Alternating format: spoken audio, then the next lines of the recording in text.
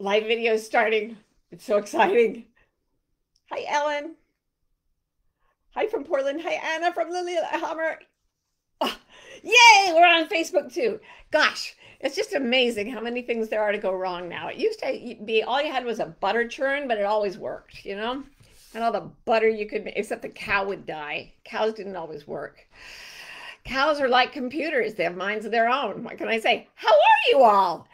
So lots of people on Instagram. Tracy's there on Facebook. Hello. And usually I start when we have 100 people on Facebook, but we've got 150 on Instagram and it's going up fast. Oh, 28 on Facebook. Woo!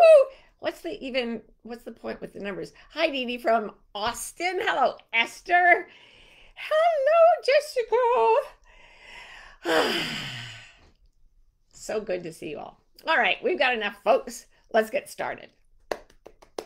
So, today's episode of the Gathering Room is called Your Perfect Problems because I have been seeing more than ever before that problems are like really good friends who really annoy you. Friends that you wish would not say the things that they say, but then once they've said them, you have to admit you needed to hear it.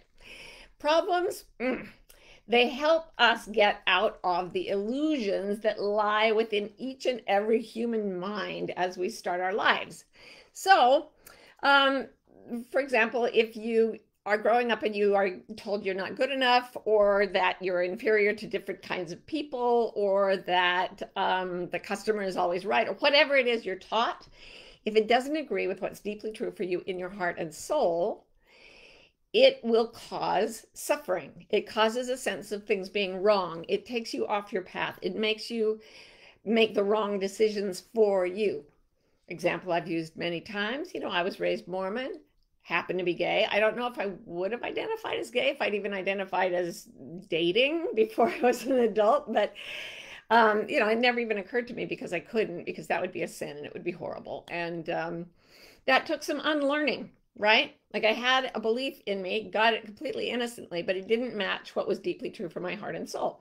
You probably have the same thing. We all do. We all have beliefs that we've taken from either socialization or some kind of difficult experience where we drew a conclusion and included it in our belief system, but it's not in resonance with the deepest truth at our core. Ro and I have been having this um, discussion a lot because uh, we're talking about things that haven't happened yet and how you can get really, really miserable about the possibility of something happening. Um, and I keep saying to her, well, to me, if it's causing that much suffering, the belief we have is wrong.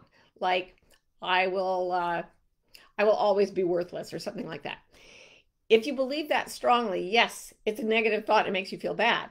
But to me, the worst aspect of it is that it's going against something you know in your core. So I'm never meant to succeed. Something like that. If you're not meant to succeed at something, it's like, mm.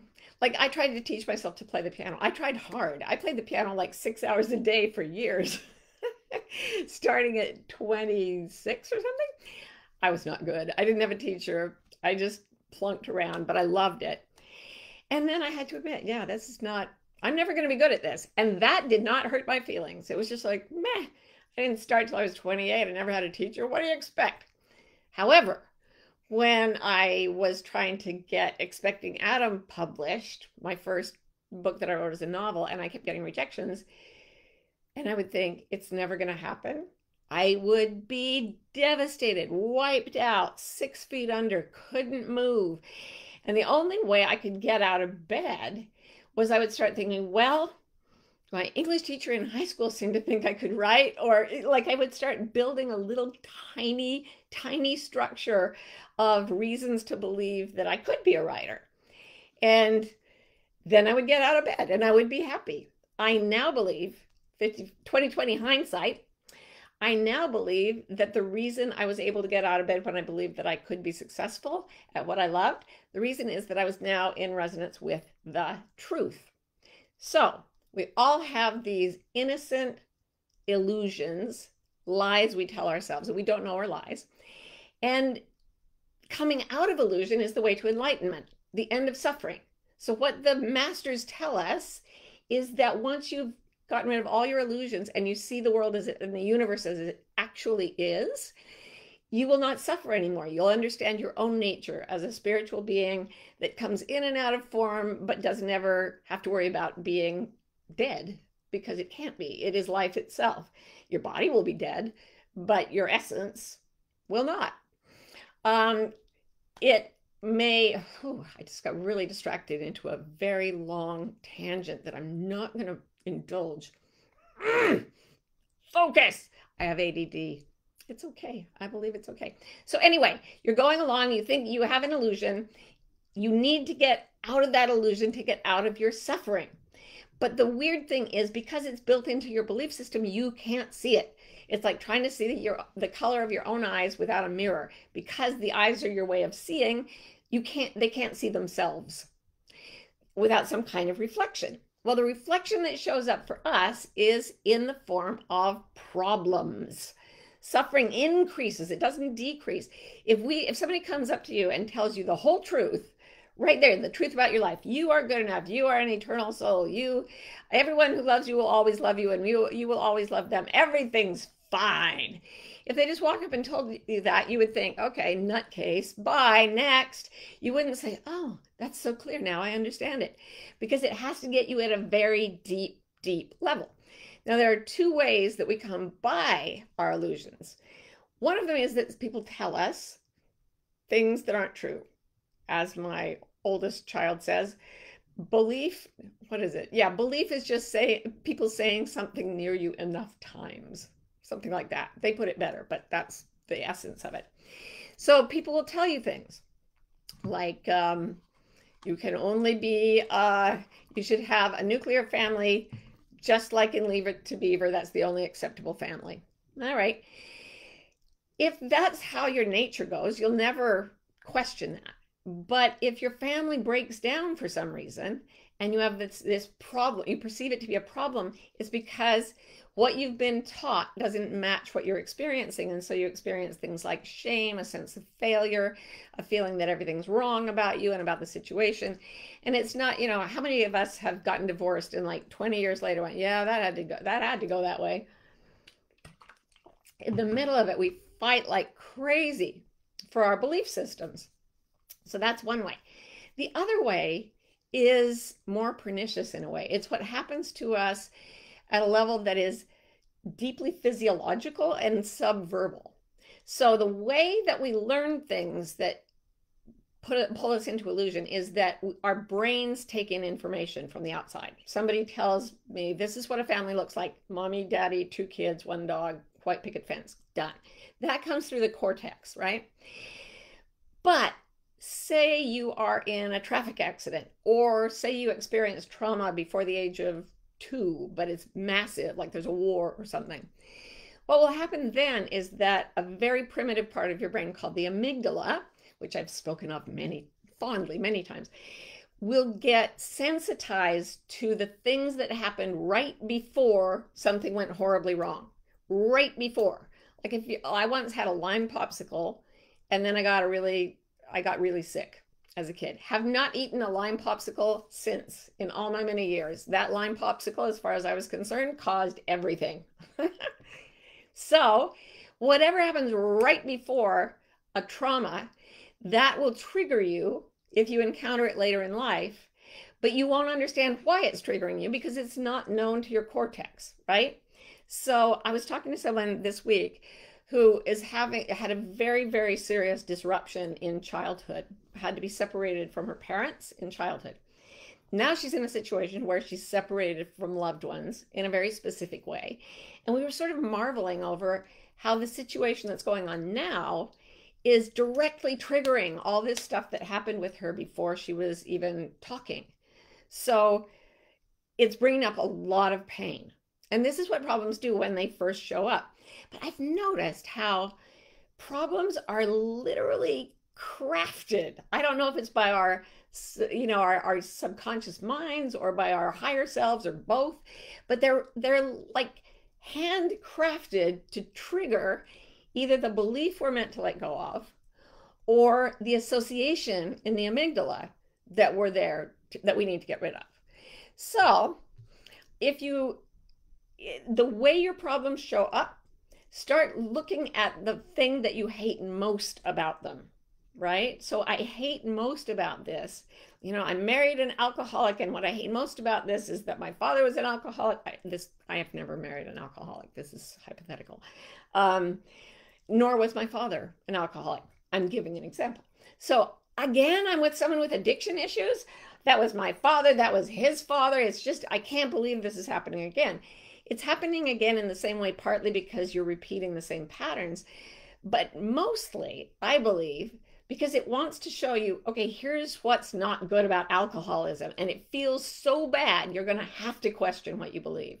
Oh, it's okay to have a, six or seven drinks before breakfast. Then you get, you're in a situation where it's not okay and you have to really you have to face that i'm using a very exaggerated example but things will come up all the time a very very big one i think for those of us who show up at the gathering room has to do with self-esteem and self-value.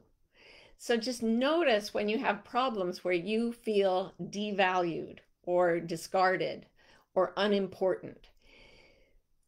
You are not having to overcome the inadequacy of your being, you are being asked to shatter the, the core traumas that are causing you to not believe the truth.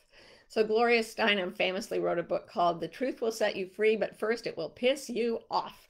You will have a problem that hits you right on the rough spot, and you'll be like, why is the universe so cruel that it's going all through my grown up sense of self, my armor, and hitting me right in the place where I got really hurt when I was a year and a half old. Well, it's happening out of grace.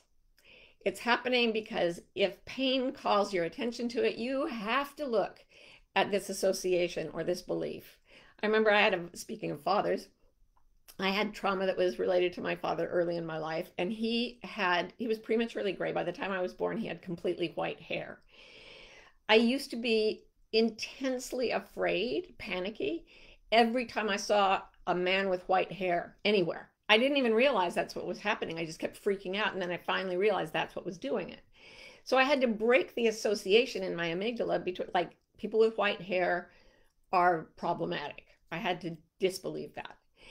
And then I had repeated episodes in my life of being discriminated against because of my gender. I've told you guys about that got the top SAT scores in my high school. They brought me and the two, the second and third place scorers down to the principal's office for career advising. And their advice to me was, wow, Martha, if you were a man, you'd have a great future. Now go back to class. We're going to talk to these two boys about their future. So that pissed me off. And it made me really explore. I went and got a PhD in the sociology of gender. And it helped me bust through a lot of cultural um, assumptions that are still in place today. But I think most of us here on the gathering room don't believe they're true. And then you look back and you say, well, I can't believe I believe that. I mean, it's so obviously not true. And I'm feeling so happy without the belief. But I have this other issue that's really a problem. Whatever problems there are in your life, just notice that where they piss you off the most, where they hurt you the most, where you're freaking out the most, that is exactly where to look for either what you were taught that isn't true or what you're associating with trauma or frightening things that is not necessarily true. And as you go into those, those are the things, the chains we need to break to free the soul because the ego is made up of those illusions, right? And it's all about self protection and not letting itself fall apart problems will make it fall apart. So there was another, David Foster Wallace, another terrific writer, said, The truth will set you free, but first it will have its way with you. So, yes, it messes with your life, and that is grace. And I will be taking questions now about this very topic from the amazing and gracious Badger Rowan Mangan. So, um, La Lune says, How do you break patterns? Okay, you break patterns when they don't work. If your patterns are working for you, keep them. If they're not working for you, do not keep them. For example, I kept trying to be a morning person almost my whole life. I would get up early, I would go to bed early, And I would sleep from about two in the morning till I made myself get up at six or seven or whatever it was. And it was not enough sleep. And it went on for hmm. decades. Okay. It didn't work. I finally realized that you have to be a morning person is a cultural assumption that I no longer believe. Uh, some people are just innately night owls. Switch to that, moved my life around. I still get laughed at by morning larks, but I don't care. I've broken that pattern. Mm-hmm. And I did it because it hurt to keep the pattern in place. That's how you do it. You suffer till you break it. Jamie Lynn says, What's the problem that I hate? What is the problem that I hate most? Oh, what if the problem that I hate most is my own thoughts, my fear of not getting things exactly right, which keeps me from taking action? I would strongly suggest that you get like a behavioral cognitive therapist or do the fabulous Byron Katie work that I love. Byron Katie is a spiritual teacher who comes on uh, and gives you a, uh, you can get a free version of her, I think every Wednesday and Thursday. She does a live session with people. Um, so, all of that is to say that you, if your thoughts are what is causing you the most suffering, first of all, you are very, very much in the majority. Thoughts cause almost all our suffering. Identifying the thoughts that hurt most and then questioning them is how we get back into integrity. You see all these many copies I have of my own book called The Way of Integrity. It's all about wherever you suffer, you can zoom in to a thought that is probably attaching you to the problem and getting rid of the thought makes the problem go away. I will give you an example. I have a fabulous bird feeder. And um, Ro got me this bird feeder as a special present when there was a bird epidemic and I was really destroyed by it emotionally. She got me the Taj Mahal of bird feeders. And then the squirrels came and they did eat so much of the seed. And I fought them psychically, I fought them physically, I fought them verbally. I fought them in every way I knew to fight them. And then I outfoxed them. I questioned the thought, it's wrong for squirrels to eat bird seed. and then I renamed my Taj Mahal the squirrel and bird feeder. And ever since then, the squirrels, the birds, and I have been friends. The raccoons are driving me out of my freaking mind, but that's a topic for another. I mean, they just destroy property for the fun of it. No. Focus, Martha. Focus back. I'm going to have to question my thoughts about raccoons and my associations about raccoons later on today. But the idea is most of us are thinking thoughts that are causing problems that really aren't problems. And when you question the thoughts themselves and go into a freedom from all thinking, which is just, woo, here I am, you simply perceive the world without a filter of thoughts and your problems almost always go away. The only ones left are the association based ones. And if you question those, in a similar way, but very gently, they will go away too. Dr. Donna says, when you're triggered, how do you interrupt behaviors that reinforce the belief? For example, right now I'm feeling devalued and like someone believes I'm not good enough. My typical response is to try harder, to do more, to go above and beyond, to attempt to make myself have value. Well, Dr. Donna, I know you to be a researcher. And we are all researchers in a sense. When we go out looking for the truth, we are acting like scientists. We take our beliefs, we put them to the test of reality, and we see if it's true. Like, do all people have to be morning larks? There are societies where not everyone is a morning lark. Everybody, you know, there are night owls in the world. It's fine. The evidence doesn't bear out the hypothesis. So, if you are feeling like someone believes you're not good enough, let me tell you the scientific way to resolve the problem. Go to that person and say, I believe you think I'm not good enough. Tell me where I'm wrong. Tell me if it's true or if it's not. Do you really devalue me? I did this with my um, PhD advisor. I think I've told you this. He, he used to swear at me. He was a Danish dude. And I think that he thought certain English um, uh, words that were um, he thought they were adjectives. In fact, they were expletives, and he used them lavishly. He called me more swear words than I can even begin to list, certainly not here. And at a certain point, I just said to him, Do you hate me and swear at me because you are trying to hurt my feelings or motivate me or something? Or is that just how you talk and the way you teach? And he said, Oh, no, that's just the way I talk and the way I teach. And I was like, Okay. And he kept doing it and it stopped bothering me. I know it's scary to ask them, but you got to break the pattern by not um, believing the thought before it's tested. You have to test it. We, we make assumptions about what other people think, and then we react as if our assumptions are true, and we may end up hating the person, and we never even ask them if our assumption was right. Okay, so that's your challenge, Dr. Donna. Go and ask them. Mark says, any tips on figuring out that, asso- that association to previous trauma when we don't have specific memories? Yes, keep a log, keep a journal of it, or keep a journal in your phone. Whenever you have a freak out, look at the situation, see if you can remember what was the situation right before. So the brain is so fascinating. It it will record anything that happens a millisecond before like a bomb going off and that specific thing will trigger us. So one of the books I've been reading had the example of a Vietnam vet who came back. He had PTSD, got some treatment for it, stopped having panic attacks, everything was fine. 10 years later, he started having panic attacks every single morning and he couldn't figure out why. And he was like, oh my God, I'm going back to PTSD. This is a nightmare. And it turned out that he, he, he zeroed in on the time it was happening and then he realized it was happening in the shower. And the reason was that his his wife had started buying the same brand of soap that he had used as a soldier in Vietnam 10 years earlier. And it was the smell of the soap, which, by the way, doesn't even go through the cortex, it just goes right from your nose to your amygdala. Wham! Um, yeah, that was triggering him. And he had to figure it out like a detective.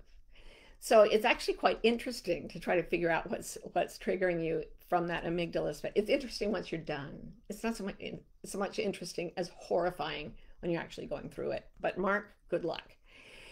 So Allison says, How do you train yourself not to be activated by a trigger? Oh, this is so good. Okay, so this is the whole reason I was going to talk about this actually.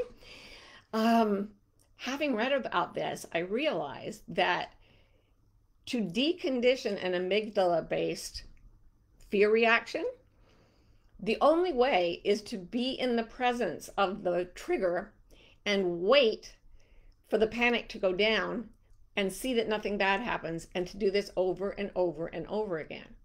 So if you ever watch, I used to watch The Dog Whisperer, um, Cesar Millan, The Dog Whisperer, and he would go work with problem dogs. And if you had an aggressive dog, Cesar had no problem. He's like, oh, no worries. I just got to prove that you're the alpha. So he would like treat the the animal the way an assertive dog pack leader would act and the dog would suddenly stop being aggressive and go oh thank god you're in charge i was hating being the alpha it's a lot of responsibility a lot of pressure on me here but if he had a dog that had that was very timid and anxious and triggery he would say okay now we're in for the long haul because this dog has to be in the presence of what triggers panic and see that nothing's going wrong many many times so for example, if that Vietnam vet wanted to just stop using that soap, great. But if he wanted to get over the trigger, he would have to deliberately let the smell of the soap trigger him and then look at it and say, it's just soap. It's just soap. Um, Jeffrey Schwartz, a psychiatrist who was one of the first people to write about neuroplasticity, worked with people who had compulsive hand washing disorder. And their thoughts were there are germs everywhere. I've got to wash my hands and they would wash their hands to the point where it was taking off the skin. And then he took, so Jeffrey Schwartz took pictures. All these people were trying to explain to the hand washers, your hands aren't that dirty. You have to just sit there and take it. What he did was he gave them an alternate story. He gave them pictures of fMRIs. No, they only had MRIs at the time. Pictures of MRIs of their brains. And with a little flash of light where the compulsion was triggering the brain. And he would have them say, when you want when you want to wash your hands, he said just hold the slide of your brain and look at the little light and say that's what's happening. It's it's an electrical impulse in my brain. So it gave them a way to sit with the panic and have a different thing happen. And he had a really good success rate where a lot of other therapists were failing really badly. So when you get triggered, so I, I had a little scare a couple of days ago and I woke up in the middle of the night having a really strong fear reaction, which doesn't usually happen. My heart was pounding. I had adrenaline. I was like, yes, because this is like my nightmare scenario because I'm afraid of insomnia and fear of insomnia creates insomnia. And now I was like at a high level alert in the middle of the night and all the fears were coming in. I'm not going to be able to get back to sleep. I'm going to be a wreck tomorrow. I'm going to, do you know what lack of sleep does to you like scary. And I was like, no, no, no. I have to sit with the wakefulness, sit with the pounding heart, sit with the adrenaline, and just allow myself to see that nothing that bad is really happening. So I used all my skills from the books I've been reading, and I told myself, you know what? It's just, I imagined my amygdala was a bunny. And I just petted the bunny. I was just like, it's okay. It was a very furry bunny. The furriness of it was very soothing to my whole soul. So I was soothing the bunny, the bunny was soothing me, and we went back to sleep. It was amazing. And then it happened again last night, and I put myself back to sleep much faster. It works. It's working. And I was so excited that I was having the problem so that I could recondition my amygdala. oh, problems are great friends. So, um, this enlightened says, how would you suggest breaking the amygdala connection when you've had a lot of trauma from betrayal and its aftermath? You need to, you know, where I, I was petting my amygdala like a bunny and I was in a comfortable bed in a house full of people who loved me and everything was fine. You really do need to get yourself out of a situation that is genuinely dangerous. So the first order of business is look around, see are you actually in danger? Because a lot of people who've had lots of trauma and betrayal are having it right now. Like they have an ongoing problem with a parent who, like, I was talking to another friend, and um, her mother used to be extremely physically violent, and her father just watched it happen. And she's not talking to her mother, but her father was talking to her, and he just watched it happen. And she's never challenged that in him. When she tries, he laughs it away, pushes it away, and it breaks her heart all over again. That's not a safe place for her. She keeps trying and trying and trying to break the pattern, and it won't break. That means she has to stop expecting that from that person, and that may mean she she needs distance from that person. So you have to establish safe boundaries first, and then you go about the process of saying, "Look, everything's okay. Everything's okay. Everything's okay." But the first order of business is don't let the trauma continue. Okay, Aggie says, Hi, Martha and Ro. Oh, Aggie, it's Aggie.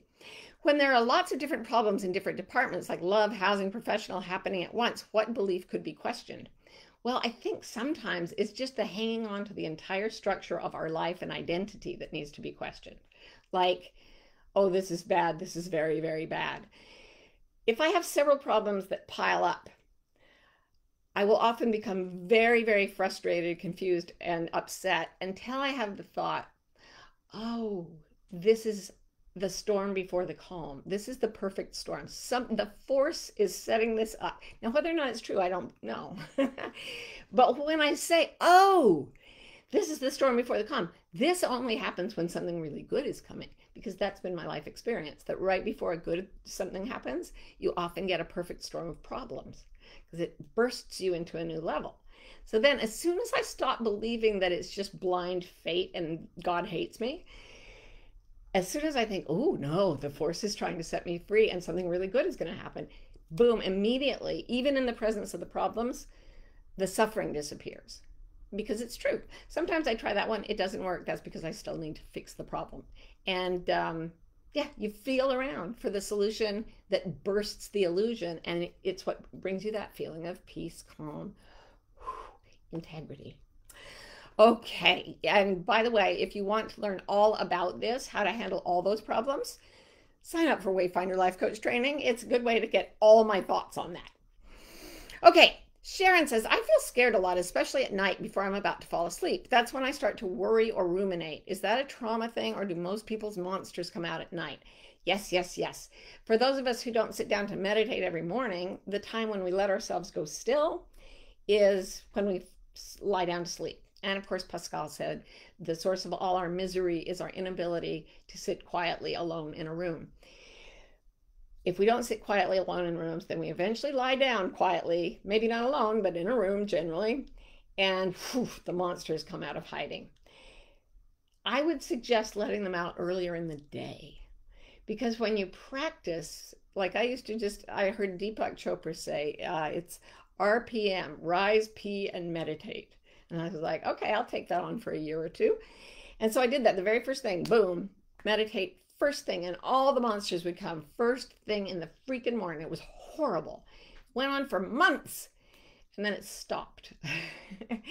and then I stopped feeling anxiety while I was meditating, and then I stopped feeling anxiety when I wasn't meditating. And then I only felt anxiety when something was specifically triggering me.